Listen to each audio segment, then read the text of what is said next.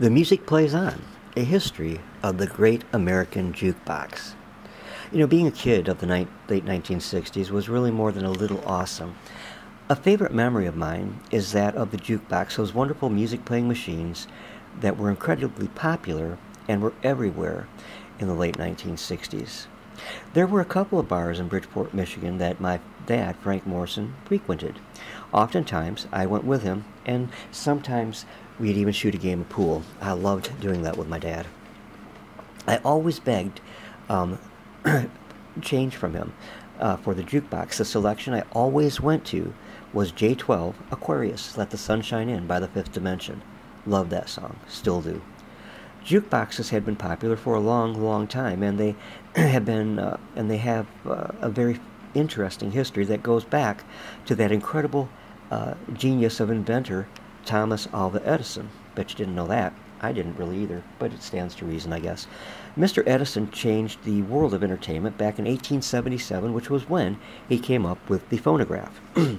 he was adverse to his brainchild being used for entertainment, but there was no stopping the inevitable. He was actually trying to come up with a working telephone answering machine, and when that didn't pan out, he wanted his creation to be used as a dictation machine and it did see such usage, but that was overshadowed, of course, by its use as a music reproducing machine. In 1889, November 23rd to be exact, um, a man with a vision, Louis Glass, bought one of Edison's machines and then made the addition to it of a coin slot.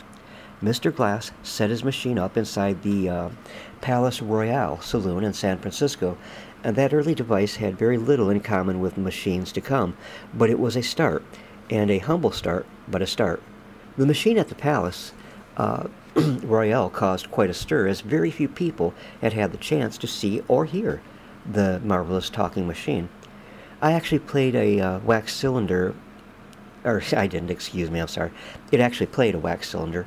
It had no electronic amplifiers, only four tubes uh, to listen with, and it could only play one record over and over. But it was enough of a novelty that people were willing to lay down a nickel to hear it.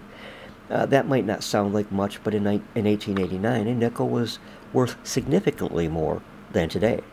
The machine brought in $15 a week, and encouraged uh, by this, Mr. Glass set up 12 more around San Francisco, and they all pulled a pretty good weekly profit.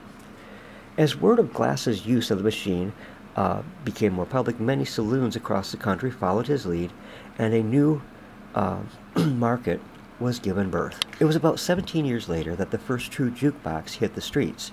Um, its name was the Automatic Entertainer, which was a bit misleading since it had to be cranked by hand to operate, so it really wasn't automatic. A big difference is that this machine played 10 inch discs rather than wax cylinders. The tubes for listening gave way to a 40 inch horn speaker, but without electric amplification, you still had to be fairly close to hear it. Oh, and uh, one other thing it played more than one selection. A change, uh, a change that fascinated users was the recording or the record changing mechanism. It was actually mounted inside a glass cabinet on the top of the machine so customers could observe its works. A lot of people thought that alone was worth their nickel, and they would stand and stare at the mechanical uh, action, so, uh, so they were as much fun to watch as they were to hear back in the day. So devices like the automatic entertainer had the market all to themselves despite the problem with volume for the next 20 years. Then, in 1927, the problem with volume was resolved as the automatic music instrument in, uh, introduced the very first electronically amplified music playing machine. All of a sudden, the jukebox was able to compete with loud orchestras, and still for only a nickel. But uh, now, for that same nickel, all the people in a saloon or a large hall could be entertained. About the same time, radio was becoming very popular and was a threat to the jukebox, jukebox industry. As alcohol was illegal at the time, and rather than quit drinking, people in the millions began hitting illegal speaky, uh, speakeasies, and of course, they wanted to be entertained. The jukebox was the perfect solution as they were cheaper and much less risky than bringing in a big band. The story of how the uh, name jukebox came along is interesting in its own right. The automatic record machine became very, very popular in uh, black speakeasies in particular, which were known as juke joints, which was then a slang term for houses of prostitution, and eventually juke came to mean dance. Part of the reason for machine, the machine's popularity in juke joints was because there was virtually nowhere that black musicians could play their records, which consisted of jazz, rhythm and blues, um, which were considered black music and had a limited market back then. Because they were closely associated with juke joints, the record playing machines became known as, you guessed it, the jukebox. To say the jukebox was popular back then is definitely an understatement. In 1939, over 30 million records were used in jukeboxes. Only three years later, in 1942, that was up to 60 million. That was a total of half the records totally produced for that year. The competition from radio and home phonographs became fierce, and in 1937, jukeboxes looked pretty much like a wooden box, but they changed in appearance considerably in the 1940s, making them more than a, a mere source of music. They became showpieces of light and color in spectacular designs.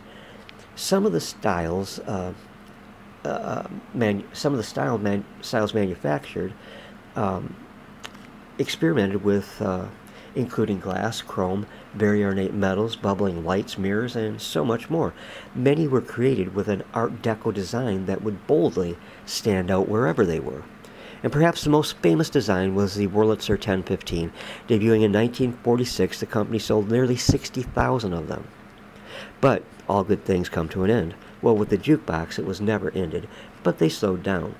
Post World War II sales um, were still huge, around 700,000 of, of them in the United States. Most of these played about 20 records, not counting those that could play the B sides. The 1970s saw the era of the jukebox begin to decline uh, due to FM radio, cassette tapes, 8 track tapes, higher cost of records, and even uh, drunk driving laws. Uh, because uh, bars closed earlier because of the drunk driving laws and thus not, uh, not as much use of the jukebox as had been. But by 1992, there were only around 180 jukeboxes in America, and current technology has hastened their decline. The jukebox was most assuredly an American long lived fad, and for those of us who experienced a part of their heyday, they will always be an iconic symbol of the American music scene. Well, thanks for listening and stopping by. Appreciate it.